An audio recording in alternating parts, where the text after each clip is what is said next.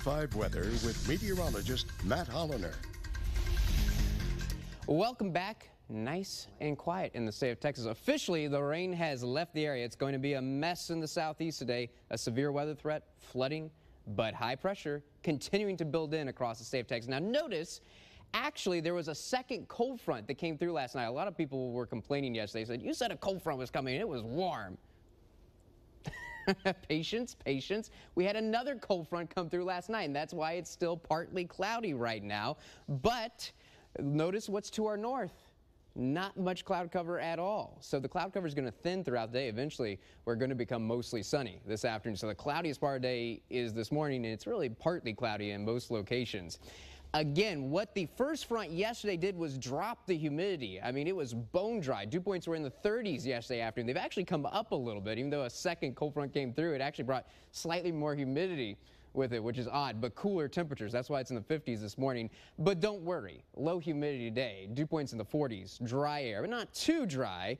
And we like low humidity. The question is, how long is the low humidity going to stick around? Will it stick around through the weekend? Well, let's track it through you. Notice that today and tomorrow, low humidity, dew points are going to be in the 40s. Saturday and Sunday, dew points are going to be in the 50s. Now, notice we, are talking upper 50s on Sunday, but it's not going to get into those dew points in the 60s, the muggy, humid, not until Monday and Tuesday. And Monday, there's a small chance of rain. Usually when we have dew points in the 50s and 40s, there's not going to be any rain, and that's the case. It's going to stay dry through the weekend. It's going to be feeling good through the weekend because the humidity is where we want it to be in the comfortable zone. But it will get muggy again. It looks like it could stay muggy for a while next week. So let's enjoy the low humidity while it's here. And with the low humidity, some cooler temperatures. Now, a chilly start day, light jackets will be needed. Maybe even around 9, 11 a.m., you'll still be wearing a light jacket. But 1, 3, 5 o'clock this afternoon, low 70s, low humidity. Now, breezy throughout the day. It's already breezy this morning, so the upper 50s really feel like the mid 50s early this morning. So a touch of a wind chill factor throughout the day, but not windy like yesterday. Gusts around 25 miles per hour, partly to mostly sunny skies throughout the day.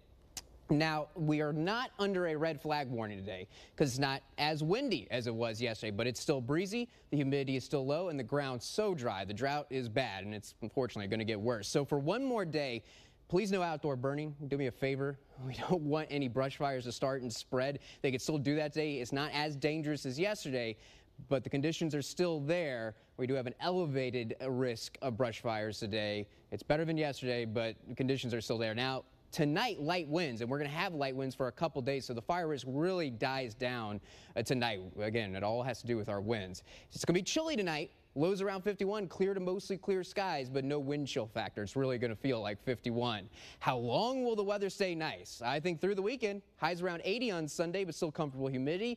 A 20 percent chance of showers on monday and that is our only chance of rain.